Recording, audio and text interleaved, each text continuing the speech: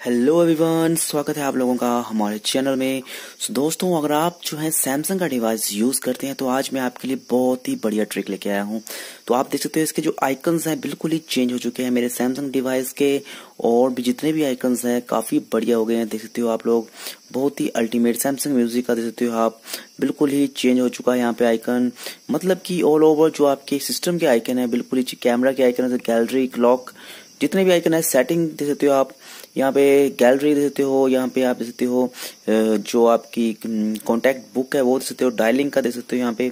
तो आप भी इस तरह कर सकते हैं। और उसके बाद जो है, आप अपने फ़ोन पे, जो है, अपने मतलब किसी भी डिज़ाइन में जो है, यहाँ पे आप ऑलवेज एओडी सेट कर सकते हैं, जैसे कि मैंने यहाँ पे किया हुआ है, ठीक है? कितना बढ़िया लगता है देखने में। तो आप इस तरह, मेरी तरह बहुत सारे एओडी भी यहाँ पे रख सकते हैं। तो कैसे करना है?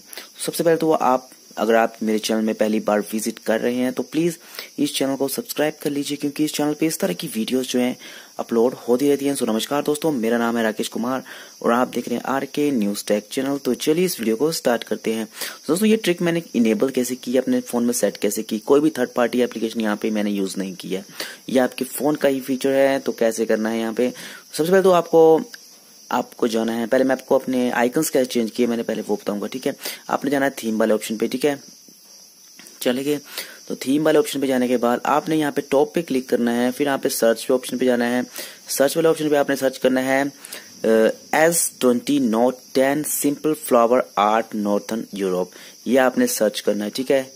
जैसे मैंने यहाँ पे क्लिक किया तो आपको फ़र्स्ट नंबर पे इस तरह की थीम मिल जाएगी, ठीक है? ये थीम आपने डाउनलोड करके अप्लाई कर लेनी है, लेकिन आपको जब ये वाला वॉलपेपर आएगा बैक में तो आप इस वॉलपेपर को रिमूव कर देंगे। कैसे? आप सिंपल अपना वॉलपेपर जो है चेंज कर देंगे वहाँ पे जाके। कोई भी वॉलपेपर अपनी पसंद का सेट कर देंगे।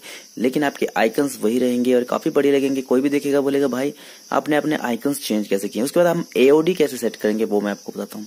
फिर से आपने थीम वाले ऑप्शन पे जाना है यहाँ पे। चले गए। थीम वाले ऑप्शन पे जाने के बाद आपने एओडी वाले ऑप्शन पे जाना है यहाँ पे। ठीक है?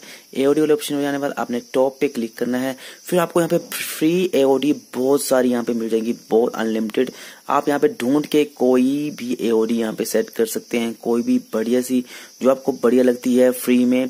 तो फ्री में बिल्कुल बीच बीच में है, थोड़ी रेट दिए गए हैं पचास की है, चालीस की है।